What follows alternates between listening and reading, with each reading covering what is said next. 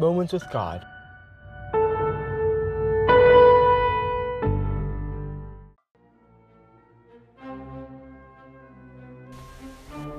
Our example in obedience. 1 Peter 2 verses 21 and 22 say, For even hereunto were ye called, because Christ also suffered for us, leaving us an example that ye should follow his steps, who did not sin, neither was guile found in his mouth. Before us is held out the wonderful possibility of being like Christ, obedient to all the principles of the law of God. But of ourselves we are utterly powerless to attain to this condition. All that is good in man comes to him through Christ. The holiness that God's Word declares we must have before we can be saved is the result of the working of divine grace as we bow in submission to the discipline and restraining influence of the Spirit of truth. Man's obedience can be made perfect only by the incense of Christ's righteousness, which fills with divine fragrance every act of true obedience.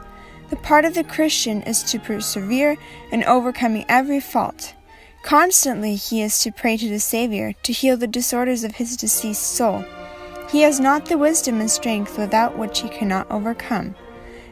They belong to the Lord, and he bestows them on those who in humiliation and contrition seek him for help. The work of transformation from unholiness to holiness is a continuous work Day by day, God labors for man's sanctification, and man is to cooperate with him by putting forth persevering efforts in the cultivation of right habits. God will more than fulfill the highest expectations of those who put their trust in him. He desires us to remember that when we are humble and contrite, we stand where he can and will manifest himself to us. He is well pleased when we urge past mercies and blessings as a reason why He should bestow on us higher and greater blessings. He is honored when we love Him and bear testimony to the genuineness of our love by keeping His commandments. There is nothing so great and powerful as God's love for those who are His children. This reading was taken from the book In Heavenly Places Our Example in Obedience. For even hereunto were ye called, says Apostle Paul, because Christ also suffered for us, leaving us an example that ye should follow his steps. Christ is our greatest example. He came to earth and lived a life of perfect obedience. He gave us a security that it is possible. As human beings, we might have tried to stop sinning, leave the bad, and stop talking about others, but we simply can't do it. We make mistakes and fall into sin again. We can only be overcomers through the grace of Christ. God gives us the possibility to obey all the principles of the law like Christ.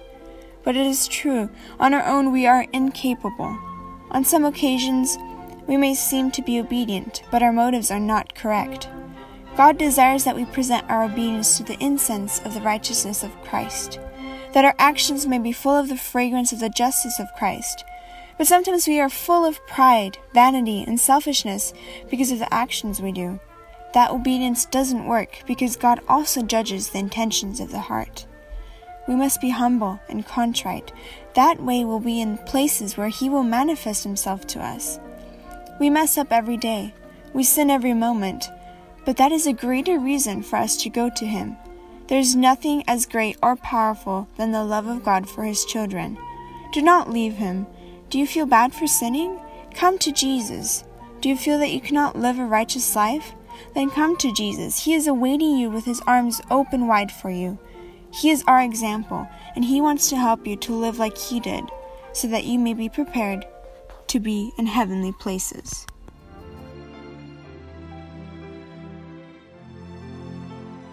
Visit www.biblewell.com